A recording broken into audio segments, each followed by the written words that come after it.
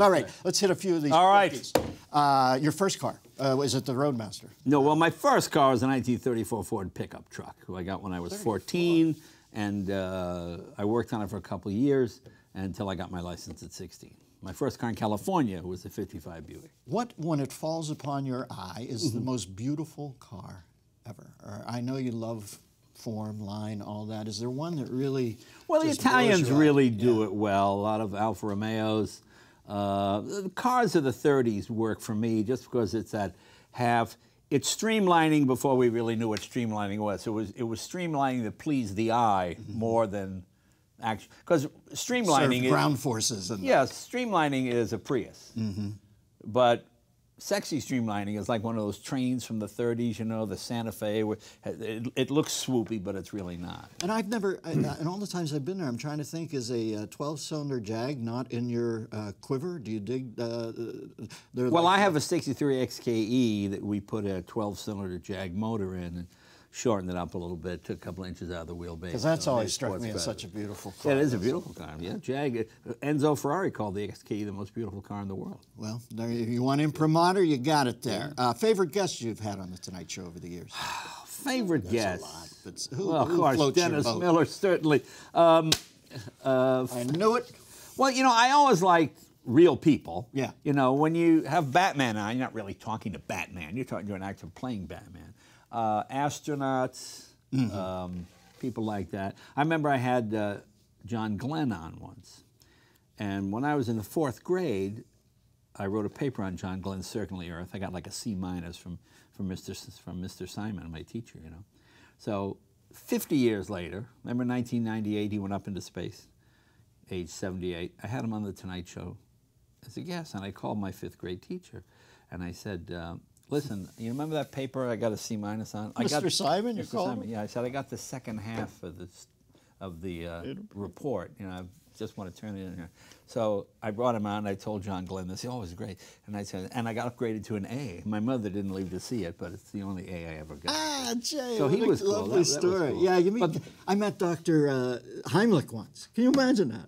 Honest to God, Jay, I meet him in a green room at a local talk show. Heimlich maneuver. Right? Yeah, of course. They go, this is Dr. Heimlich. I go, I'm on first. This is how screwed up the world is. Yeah. This guy has, and I say to him, the Dr. Heimlich? And he says, uh, I didn't ask him to name it after. Imagine meeting a real guy like that who's Well, that yeah, humble. I, no, I got you. I got you. Uh, but some astronauts, cats like that. Yeah, I would take John Glenn over the Heimlich guy, just a matter of. Well, geez, Jay, the Heimlich thing's prolonged so many people's Well, uh, that's true. you know, loving relationships over the years. You don't have to piss on my dream. That's true. Hey, um, I know the answer to this because I remember the joke.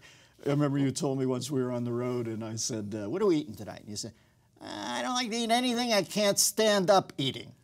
Remember Well, that you were in that phase for a while, I was going Pizza. to nothing grown from the earth or taken from the sea, basically. yeah, that's that's my. If I can't run it down and snap its neck, I usually don't eat it. Yeah, I go over to Europe. They're eating all the stuff I throw out. No, I do not want any pancreas tartare. No, colon tartar. Colon tartar. Colon tartar. That's right. Yeah. See, these made a dent. That's right. And, and remember, remember, I used to think about the money had people having sex on it. Maybe you get French money and there are people having sex on the money. It's like, oh Jesus, put, put it down. a food you can't stand. Food I can't Yeah, stand. you don't like high end stuff. I- right? no, no, nothing frou frou. You know, I get all my meals from a guy in a paper hat. Generally, uh, it's fair to say. Funniest memory from the Tonight Show. To me, the funniest, one of the funniest ones was I was. Uh, we, we were trying to get Kathie Lee Gifford on the show. Right. And this is when- this is when Kathy Lee was as hot as she can, and and I did a joke. Remember, remember Frank Gifford was having an affair. Remember. And I did a joke that really made Kathie Lee mad. The joke was, "Uh oh, Frank Gifford just found. I mean, Kathie Lee just found out there's no such thing as Tuesday night football." That was the joke. So, so that joke, that's a great joke. That joke got quoted everywhere. So she said, "Jake, no, don't you tell her I'm not coming on that show." No, I'm furious. I, I said, oh, I, I said, "Well, look, let me call her." Jay, she won't take your call. Let me call her. So I go out into the say to one the interns, "If- "Would you get me Kathie Lee's phone number?" Okay, bring me the phone number. I go in my office. Uh, Kathy Lee, yes. Uh, Jay Leno, Jay, Jay, it's so good to hear from you. I go, oh, this is. Uh, well, listen, Kathy Lee, we'd love to have you on the uh, Tonight Show Thursday night after ER. That's our big night. We'd like you as lead guest. I would love to be lead guest. That would be wonderful. Thank you, Jay. That is so kind. Okay, thank you. Easy peasy. Right, so I go back into the booking room. I go, you know, you folks can all go home because uh, I can book the show myself. I just, what are you talking about, Jay?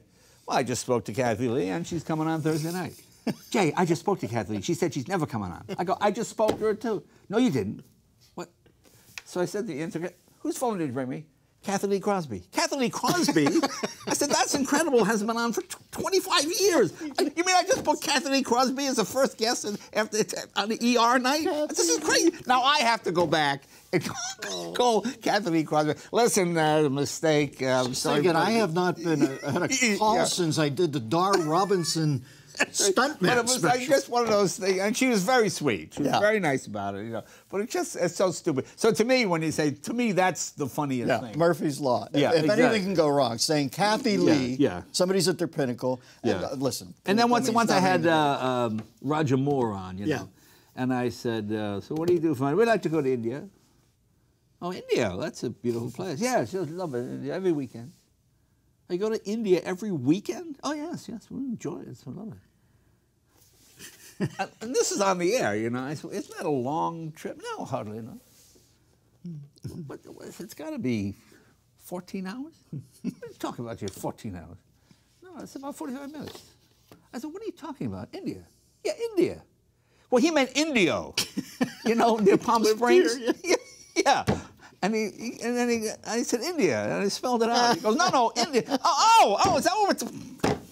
Never miss a beat. Subscribe to Larry King now and watch new episodes every day.